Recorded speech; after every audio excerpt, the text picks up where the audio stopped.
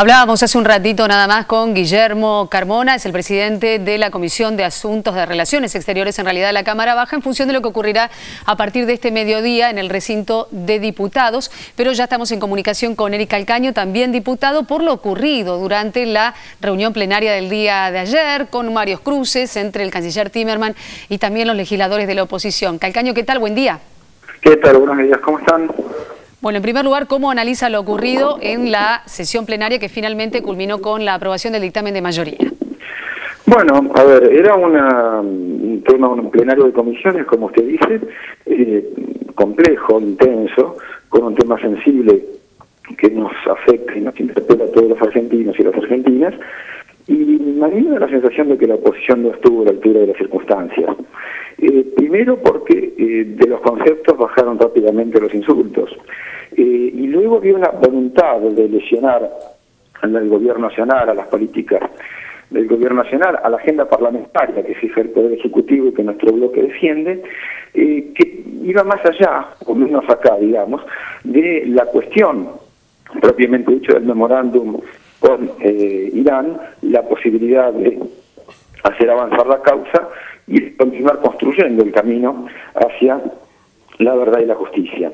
Eh, por lo tanto, la, la, cantidad de agresiones personales que hubo eh, no daban una buena imagen del propio arco opositor, que me pareció que tenía una actitud destructiva, pero también autodestructiva.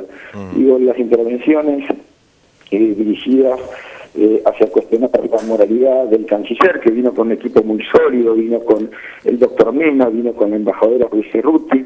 Eh, me parece que son esfuerzos que merecían quizás mejores destinos, mm. eh, y no del modo que se lo trató eh, pidiendo a veces cosas eh, que le venían abstractas, como si, por ejemplo, bueno, pero usted, ¿qué garantías da? Pero él como persona es el canciller, representa la política exterior de la nación, aquella que eh, ejecuta el gobierno en base a eh, la victoria en las urnas. Es normal, es lo que sucede habitualmente en las democracias, pero eh, era, era como una cuestión eh, casi de tendencia, ¿Diputado? De, combate entre las personas que, que al final pasaba a un segundo plano lo trascendente del acuerdo, tenga uno la opinión que tenga de ese acuerdo. Eso es lo que a mí me parece eh, marcar un poquito esta, esta situación con esta, el, episodio que hubo entre la diputada Laura Alonso y el diputado Larroque en el momento en que hablaba el presidente del bloque. Mm.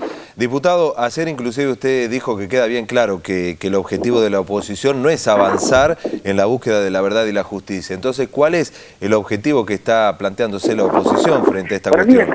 para mí es desgastar al gobierno, desgastarlo en todas las, en todas las realizaciones y en todos los hechos de gestión que se han venido realizando desde el 25 de mayo del 2003 cuando por ejemplo se dice que eh, la plata de los jubilados sirve para pagar fútbol para todos, lo cual es falso, bueno, se trata de, legitimar, de legitimar toda la política en materia de eh, derechos humanos que hemos seguido.